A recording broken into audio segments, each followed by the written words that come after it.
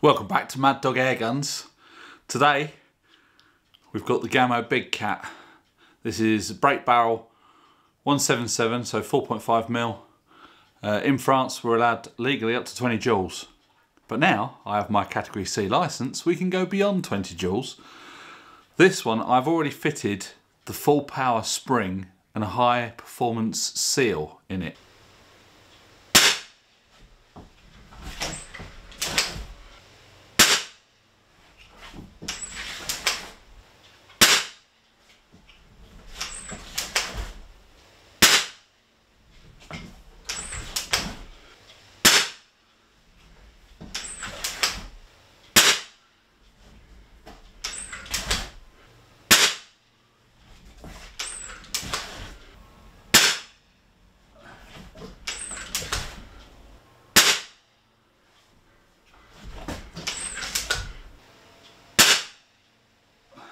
So today we're going to try fitting this. Now this is a double spring kit. So you've got your your main spring and you've got another spring that goes up the inside. Now for this Gamo we've got this piece which we're going to fit. That goes up in the spring and that goes into the, the trigger assembly. So we're going to pull this gun apart and swap these springs over. So we're going to fit this. Now apparently it will give it a little bit more recoil, um, but it should give it a lot more power. Let's get this fitted. So here's the spring. That's the piece that's going to go in the trigger assembly. So you've got your main spring and your spring that goes up the middle, basically. So we'll just put them to one side. Alright, it's coming back to join me. So what I need to do first Let's just take this scope off.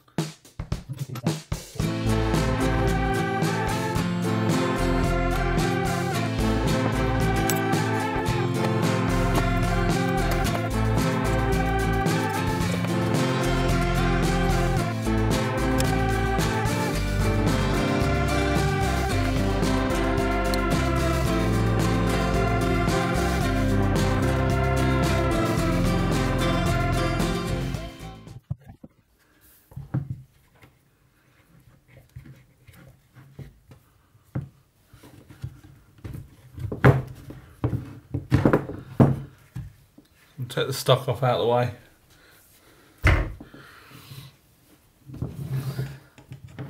Leaves us with this. I'm going to take the barrel off.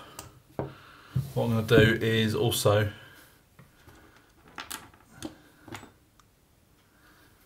just disconnect this. This is your bear trap so that you can't pull the trigger when you've um, got your barrel cocked, uh, when you've broken your barrel to cock the gun. I just tend to pull that spring up around there like that. Easier said than done.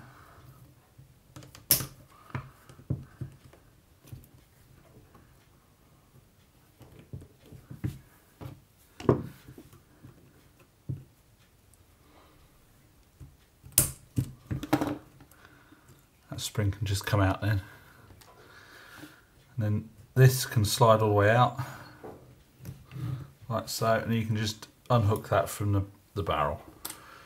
So now, that piece just comes out the end.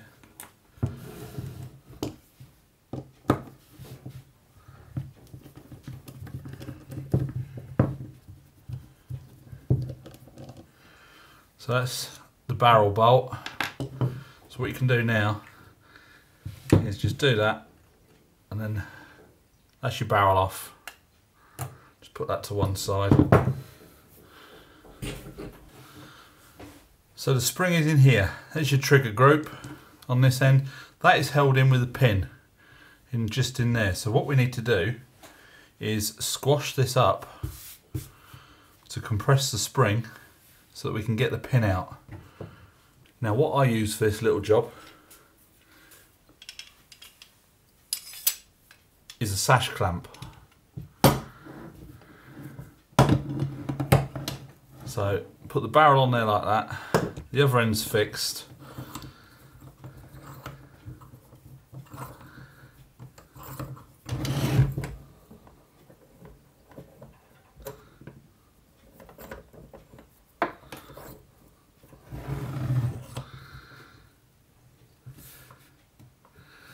So just a little bit of tension and you can push this pin out like so. And you just want to keep hold of, your, hold of the barrel as you unwind it because there's going to be a lot of tension on that spring. So it's coming undone quite nicely now.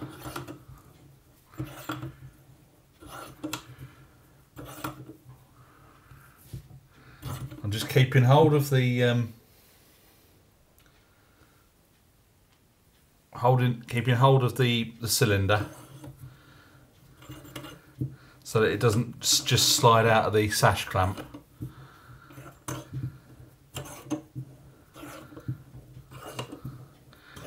It will go quite a long way because the spring's under a lot of tension.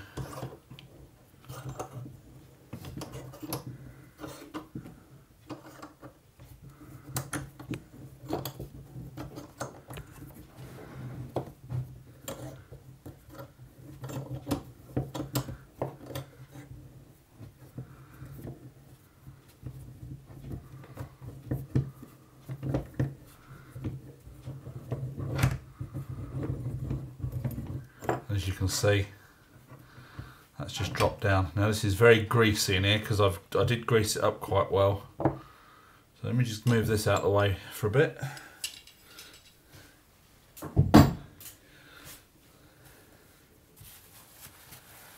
Just lay out a couple of these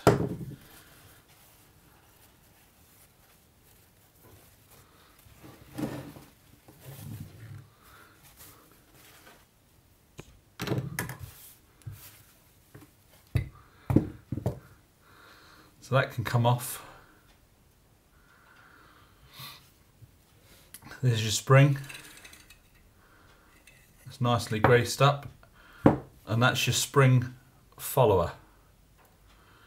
Now apparently you don't don't put that piece back in with this kit. Um, the spring's just to rest inside the the piston. Whether that's a good thing or not, I don't know. Um, just need to clean some of this grease off.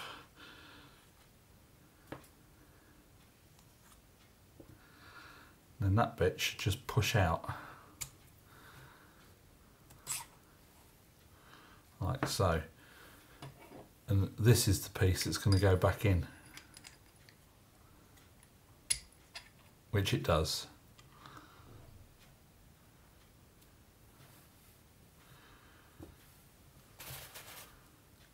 So these pieces all stay out and these pieces go in.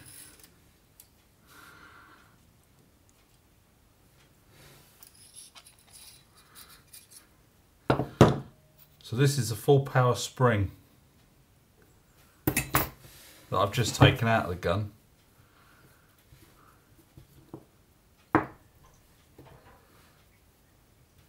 Now this other spring is a little bit shorter but the coils are a lot thicker and there's two springs in there so I'm thinking that uh, it might be a bit more powerful. So I'm going to put that to one side. What I want to do here is just grease up the springs. So I've just got some lithium grease here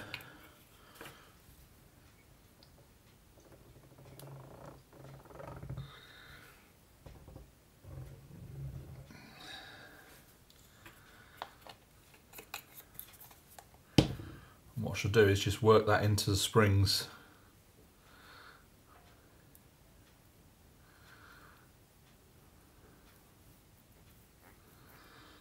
Both springs got some grease on.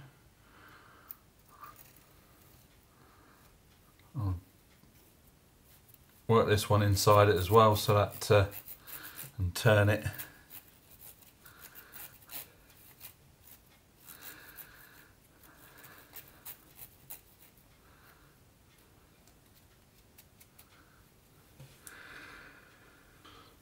So I'm not going to pull the piston out, that's already in there. So I'm going to put the spring in there like so.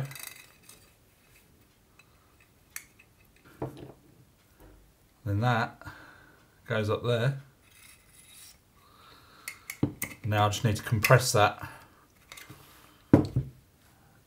and put the pin in.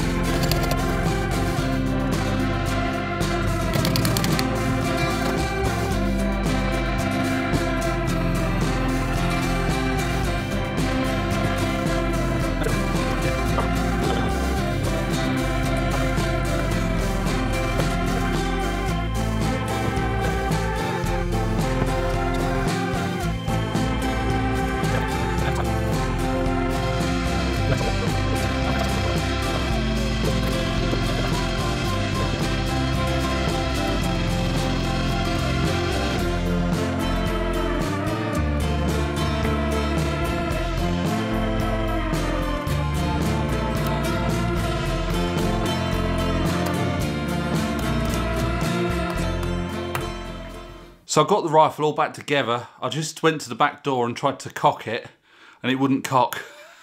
thought, oh, here we go again. I had this trouble before when I tried fitting it when they sent out the original spring kit, which was for a different gun.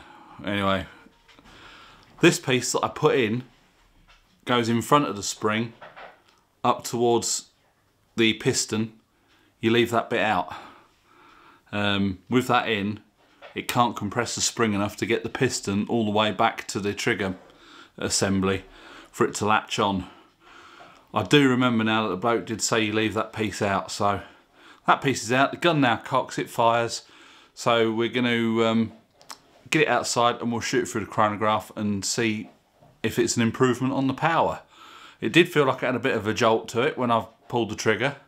I know I dry fired it, you know, one of them things, isn't it? So we'll wait for a bit of better weather and we'll see you outside.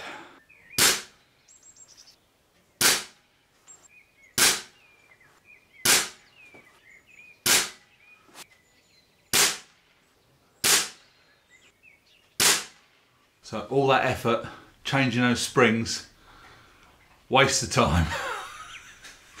it's less powerful than it was originally. So I'll be putting the full power spring back in it at some point. Um, it said that with this kit it would take it over 25 joules. That's not the case. You can feel it has got a bit more recoil. Uh, I tried two different pellets. I tried the, the 0.51 of a gram uh, and then I tried the one gram gam Gamo pellet. Um, waste of time. Don't bother.